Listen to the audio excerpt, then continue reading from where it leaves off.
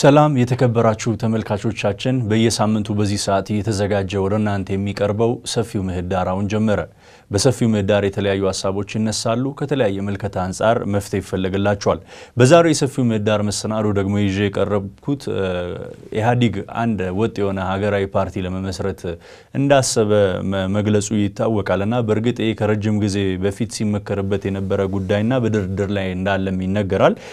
በቅርብ ጊዜ እንግዲህ ይሄኛው ወደ ይፋ መውጣቱን ተከትሎ አንድ ሀገራዊ ፓርቲ መመስረቱ ምን አይነት ጠቀሜታ አለው? የጎንዮሽ ጉዳት ይኖረዋል ወይ? ውጤታማነቱ፣ ስኬታማነቱ ምን ይመስላል? የሚለው ነገር ላይ ውይይት ለማድረግ ነው ዛሬ ይዤ የቀረብኩት። በዚህ ሀሳብ ዙሪያ ላይ ከኔ ጋር ለመወያየት እንግዲህ እዚህ እንግዶች ጋብዣለሁ። አቶ ግርማ ሰይፉ የቀድሞ የፓርላማ አባል እንዲሁም ደግሞ አቶ ቶሌራ አደባ የኦሮሞ ነጻነት ግንባር ቃል አቀባይ ናቸው። እንግዶቼ እዚህ ድረስ መጣችሁ ውይይት ለማድረግ ስለፈቀዳችሁ ከልብ አመሰግናለሁ። እንግዲህ ተመልካቾች መግቢያ ላይ ለመጥቀስ እንደሞከርኩት ከዚህ በፊት በነበረው ሂደት በኢትዮጵያ ሁኔታ ላይ ፈላጭ ቆራጭ የነበሩ የፖለቲካ ፓርቲዎች እንደነበሩ ይታወቃል። እነሱም ኦህዴድ፣ ብአዴን፣ ህወሀትና ደኢህዴን እንደነበሩ ይታወቃል። ለምሳሌ እንደ ሶማሌ፣ ጋምቤላ የመሳሰሉ ፓርቲዎች አጋር ፓርቲ ተብሎ እንደነበረ ይታወቃል። በሀገራችን ጉዳይ ላይ ዋና ወሳኝ አልነበርንም የሚሉ ቅሬታዎች እንደነበረ ይታወቃል። እና ይሄ ነገር እሱኛውን ጉዳይ ይቀርፋል ወይ? እንዴትስ ተመለከታችሁት? የሀገራዊ ፓርቲ ኢህአዴግ ለመመስረት የሚሄድበትን ሂደት እንዴት አያችሁት? ከአቶ ቶሌራ ልጀምር። አንድ ሀሳብ ያለው የተለያየ ፓርቲ በየቡድኑ ተደራጅቶ ከመንቀሳቀስ ተሰባስቦ ሀሳባቸውን አቀናጅተው ወደ ህዝብ መቅረቡ አማራጭ መንገድ ነው ወይንም ደግሞ የሚደገፍ መንገድ ነው። ዋናው ነገር ግን ፓርቲዎች ሲመሰረቱ ያላቸው ሀሳብ የሚያስተላልፉት ለህዝቡ የሚያቀርቡት ሀሳብ ምን አይነት ነው? ምን አይነት ተቀባይነት አለው ነው ዋናው መታየት ያለበት ነገር ይመስለኛል በበኩሌ።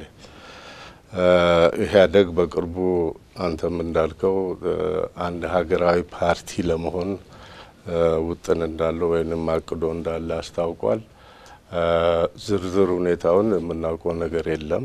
የተመሳሰለ ወይንም ተመሳሳይ ሀሳብ ያላቸው ከሆነ አንድ ላይ የሚመጡ ከሆነ የሚደገፍ የሚበረታታ ሀሳብ ነው። ተቃውሞ የለንም።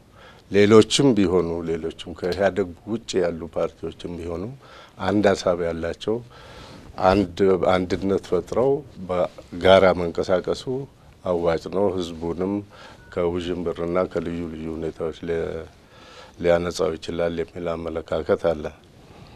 ዞሮ ዞሮ ግን አስር ፓርቲ ሆነ አንድ ፓርቲ ሆነ ሳይሆን ዋናው ሀሳቡ ነው። ህዝቡ የሚፈልገውን አላማ ይዘው ይንቀሳቀሳሉ ወይ የሚለው ነው ዋናው በእኛ በኩል ትኩረት የምንሰጠው። አንድ ፓርቲ መሆን ብቻውን በቂ አይሆንም። የህዝቡን ጥያቄ ለመመለስ ያላቸው ፍላጎት ነው።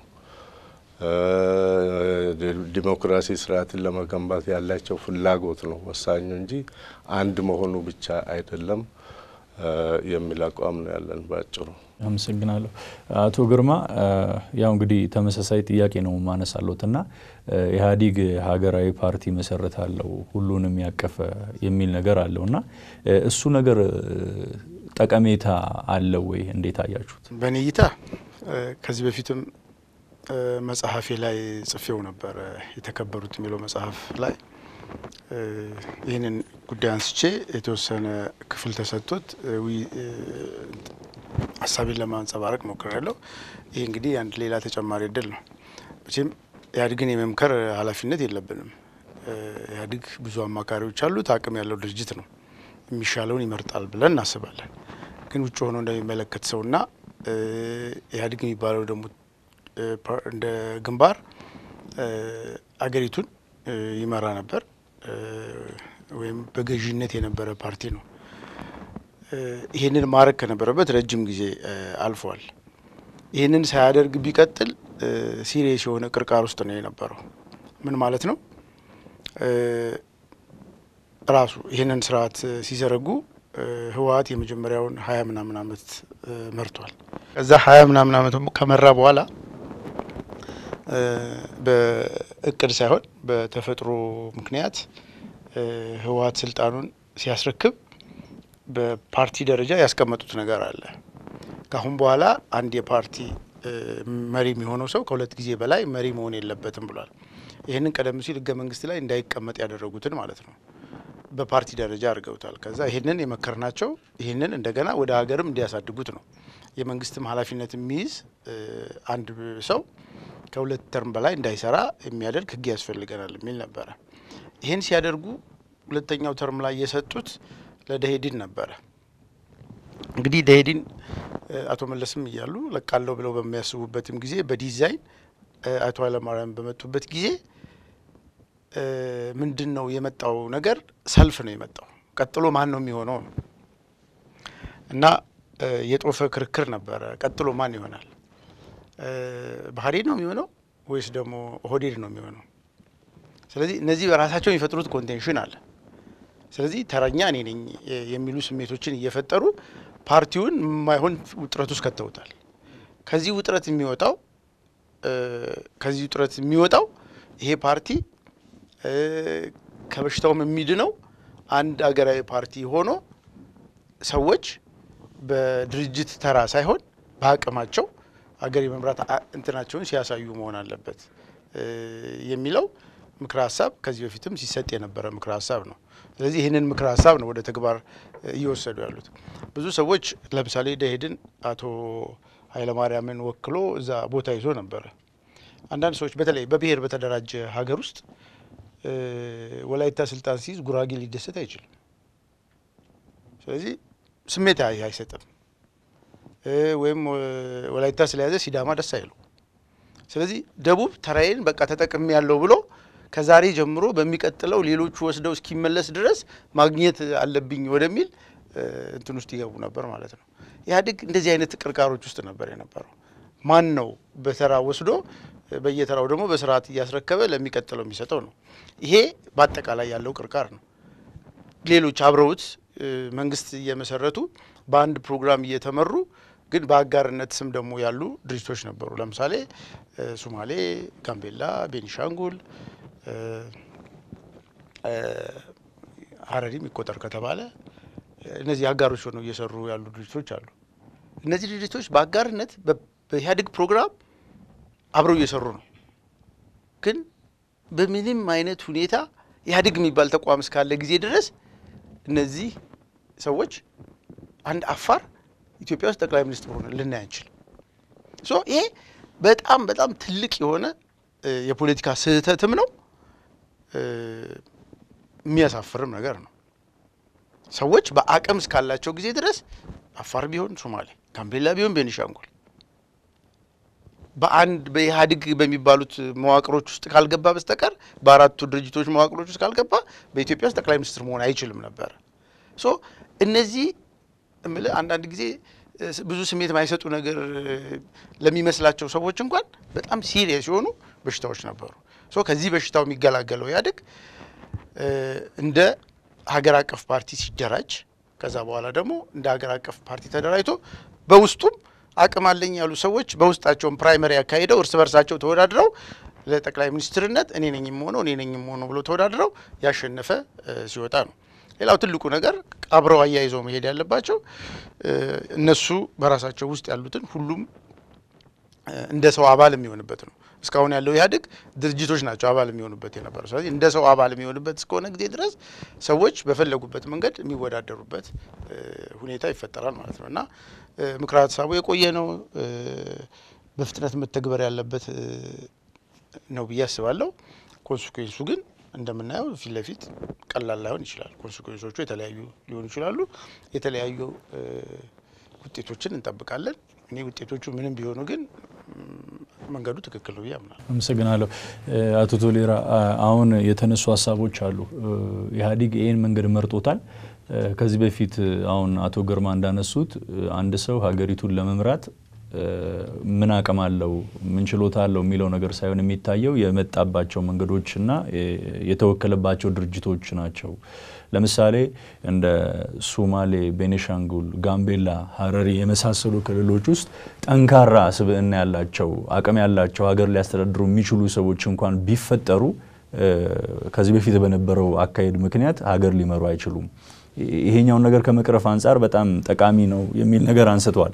እዚህ ላይ እርስዎ ምን ያነሳሉ? ተጨማሪ ነገር ደግሞ ለፖለቲካ ፓርቲዎችም ክፍት ነው ይሄ እየተባለ ነው የሚገኘውና ሀሳብ ላይም ለመደራጀት ያሰበ ነው ይመስለው። እስቲ እዚህ ላይ አስተያየት ይስጡ።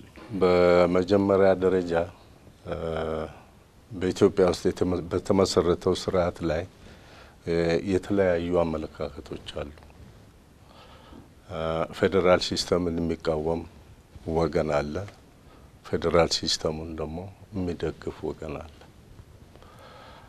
federal system በምትመሰርትበት ጊዜ በ federal system ኡ ውስጥ የሚካተቱት ብሔር ብሔረሰቦች የራሳቸውን መብት ሲወስኑና ይወክለኛል በሚለው ሕዝብ ወይንም ደግሞ ይወክለኛል በሚለው ሰው ሲተዳደሩ ነው።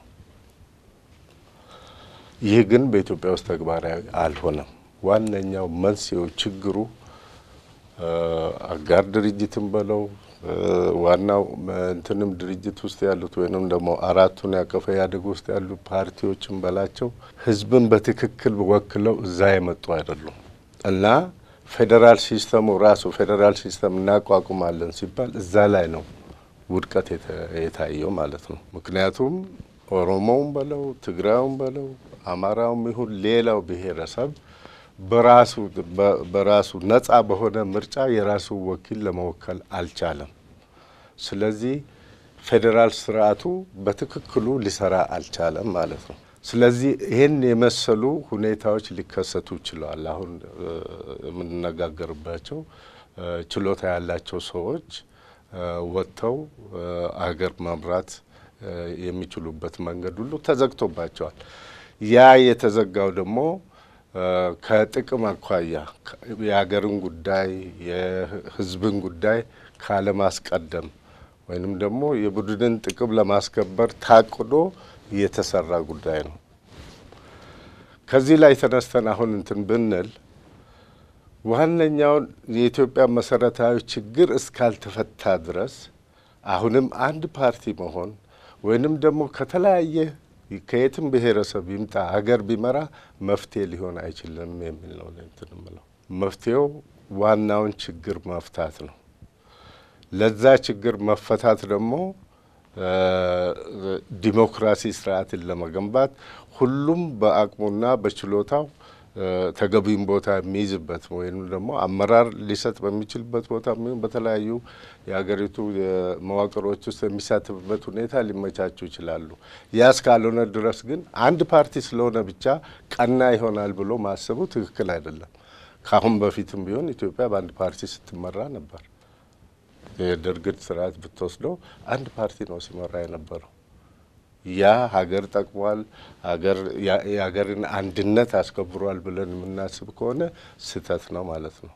ስለዚህ ዋነኛው መሰረታዊ የሆኑ ችግሮችን መፍታት ለመፍታት መስራት፣ በዛ ውስጥ ደግሞ እውነተኛ ዲሞክራሲ፣ እኩልነትና ፍትህ እንዲሰፍን ማበረታታቱ ወይም በዛ መንገድ መስራቱ ነው እንትን የሚለው እንጂ አንድ ፓርቲ መሆኑ ብቻውን በቂ የሚሆን አይመስለኝም ነው።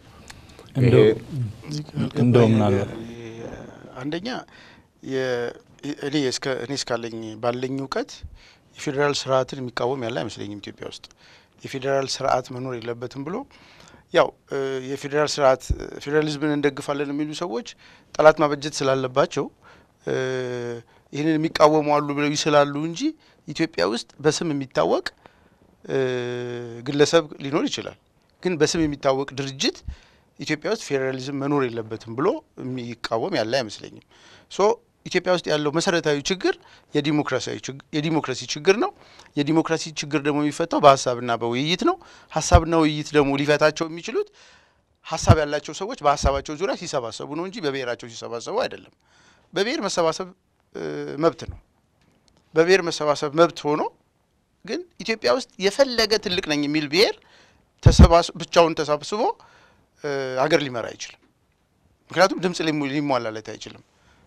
በደንብ ተደርጋ የተሰራች ሀገር ስለሆነች fifty plus ያለው ህዝብ የለም።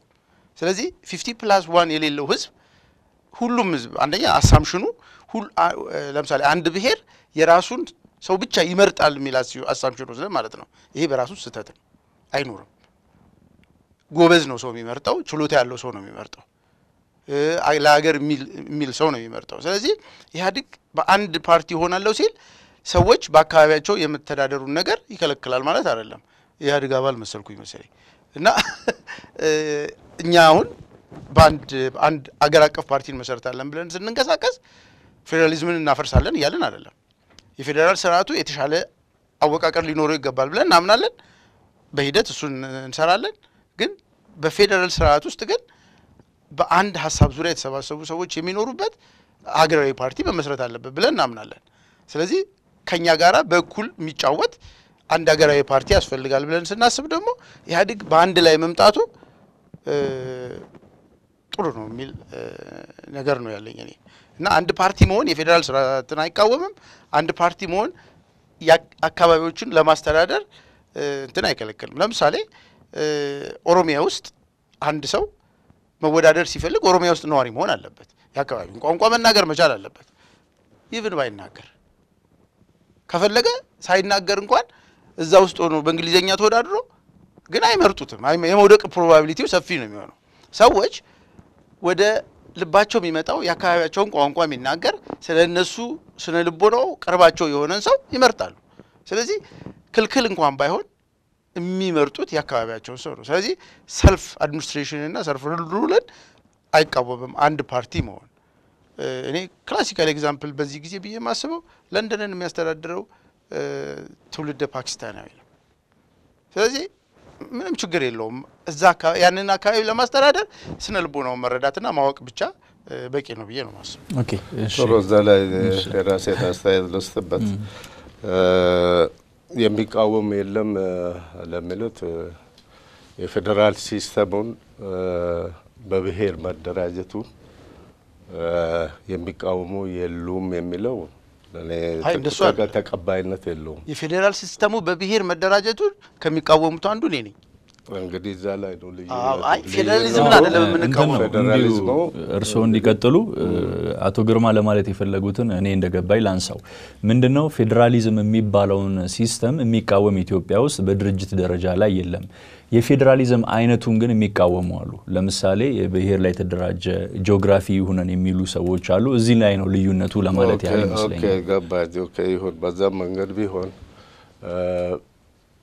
እንግዲህ አሁን ወደ ኋላ መመለስ አለብን። በኢትዮጵያ ውስጥ ችግሮች ምንድን ናቸው የሚለውን ነው ማነሳው። በኢትዮጵያ ውስጥ ዋነኛው ችግር የሆነ ቆን አመሰራረቷ ነው። የኢትዮጵያ አመሰራረት ነው። በኃይል በጉልበት የተመሰረተች ሀገር ናት። በኃይል በጉልበት ተመስርታ ሌሎችን በብሔር ስትጨቁን ስርዓቱ ብሔሮችን ሲጨቁን የነበረ ነው። የአንድን ብሔር የበላይነት በማንገስ በሌሎች ላይ ጫና በመፍጠሩ ነው። ይህ በኢትዮጵያ ውስጥ በመከሰቱ ደግሞ ዋነኛው የኢትዮጵያ ሕዝብ ትክክል እንዲሆን ሆኖ የቀረበው የብሔሮች መብት ይከበር የሚል ነው። እንግዲህ የብሔር መብት ይከበር ስትል በብሔር ነው የምትደራጀው። ኦሮሞ በኦሮሞነቱ ተደራጅቶ ይታገላል፣ ሌላውም እንደዚሁ ይታገላል ማለት ነው። አሁን ይሄኛው በደርግም ስርዓት መልስ ስላጣ ችግሮቹ እየተባባሱ ሲመጡ ኢህአደግ ይሄንን ለማስታገስ በማለት የብሔሮችን መብት ወይንም ትግል ለማቀዝቀዝ ሲባል ይህ መብት እንዲከበር አደረገ፣ አወጀ ማለት ነው። ያ ማለት የብሔሮች መብት ተከበረ ማለት አይደለም።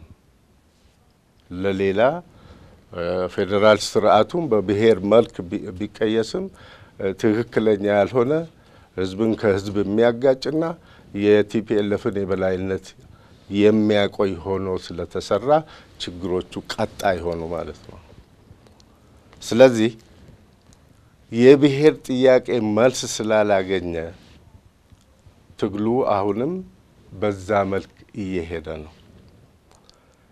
ያንን ሳትመልስ ዝም ብለህ አንድነት ስትል ልትፈጥሮ አትችልም። ስለተመኘኸው ልትፈጥሮ አትችልም። ሁኔታዎች መኖር አለባቸው። ለምሳሌ አቶ ሰይፉ አሁን እንዳለው በለንደን ከፓኪስታን የመጣ እዛው ተወልዶ ያደገ ወይንም ደግሞ እዛው ያደገ የለንደን ከንቲባ ሆነ ነው። ያ ምንድን ነው ያስቻለው? ስርዓቱ ታችኛው ያለው ስርዓት ዲሞክራሲ የሆነ ስርዓት እየተመሰረተ እየተገነባ መጥቶ ሰዎች እኩል በብሔራቸውም ሆነ በእንትናቸው የማይጨቆኑበት ስርዓት መመስረት ስለቻሉ ነው። አሁን እዛ ለንደን ፓኪስታን ሲሆን ስኮቲሹ ራሱ መርጦት ይሆናል። አይሪሽ መርጦት ሊሆን ይችላል። መርጦት አለ። ለምንድን ነው ያ ሰው በብሔራቸው ምንም ሊያደርጋቸው እንደማይችል እኩልነትና ፍትህ የሰፈነበት ስራ ስለገነቡ ነው። በሀገራችን ውስጥ ግን እዛ ደረጃ አልደረስንም ነው። አሁን ኦሮሚያ ውስጥ ነዋሪው አብዛኛው ኦሮሞ ነው፣ ወይም ደግሞ የኦሮሞ መሬት ነው ብለን ነው የምናስበው። የኦሮሞ ሕዝብ በኦሮሚያ ላይ የበላይነቱን ማስከበር አለበት ነው ባለቤትነቱን፣ ቋንቋውን፣ ባህሉ መከበር አለበት፣ በማንነቱ መኖር አለበት በመሬቱ ላይ የሚል አስተሳሰብ ነው የምናራምደው። ያ ማለት ደግሞ ኢትዮጵያን ይምራ ማለታችን አይደለም። sixty percent ም ይሁን seventy percent ም ቢሆን ኢትዮጵያ መምራት አለበት ብለን አናስብም። እኛ ኢትዮጵያ መምራት ያለበት የኢትዮጵያ ሕዝቦች የመረጡት ሰው መሆን አለበት። ግን በራሱ አካባቢ ላይ ግን እሱ በማንነቱ እንዳይኖር ተጽዕኖ ለማድረግ የሚፈልግ የሀገር ባለቤትነቱ እውቅና መስጠት የማይፈልግ በቋንቋው እንዲማር፣ እንዲናገር፣ እንዲኖርበት የማይፈልግ አስተሳሰብ ያለው ሰው ግን በዛ ውስጥ ይመረጣል ብሎ ማሰብና የኦሮሞ ህዝብም ይመርጠዋል ብሎ ማሰብ ትክክል አይመስለኝም። ስለዚህ በእርግጥ ፌዴራል ስርዓት ትክክለኛ ፌዴራል ስርዓት የሚመሰረት ከሆነ ለማንኛችንም ጠቀሜታ አለው። ያ ማለት ደግሞ ሁሉም እንትን አገር ይመራል ማለት አይደለም። የራሱ በውይይት በእንትን ዲሞክራሲያዊ ስርዓትን በማዳበር በማዳበር የምታወጣው ነገር ነው። እዚህ አንጻር እንግዲህ ምሳሌ ሊሆኑን የሚችሉ ሌሎች ሀገሮችም አሉ። ፌዴራል system በብሔር በማንነታቸው ተደራጅተው አገር እንዴት እንደሚመሩ በራሳቸው arrangement ዲሞክራሲ ስርዓት መስርተው እንዴት በተራ ሀገር እንደሚመሩ ምሳሌ የሚሆኑን ሀገራት አሉ። አውሮፓም ብሶር ሌላም አካባቢ እና አሁን ዞሮ ዞሮ ፓርቲዎች በፌዴራሊዝም ስርዓት የሚያምኑ ፓርቲዎች በአንድ ወገን መሆን ጉዳት አለው ብለን አናስብም። ጠቀሜታ አለው። ህዝቡንም ከውዥንብር ያድናል። አስር ፓርቲ ሆነ አንድ አይነት እንትን ይዘ ከመሄድ በአንድ ፓርቲ ስር ተደራጅተ እንትን መሄድ አለበት። ግን አገራዊ ፓርቲ ሆነ የህዝቡን ጥቅም የማታስከብር ከሆነ አሁንም ትክክለኛ አይደለም ነው። እችን ነው ለማለት የፈለግኩት። እሺ፣ አመሰግናለሁ።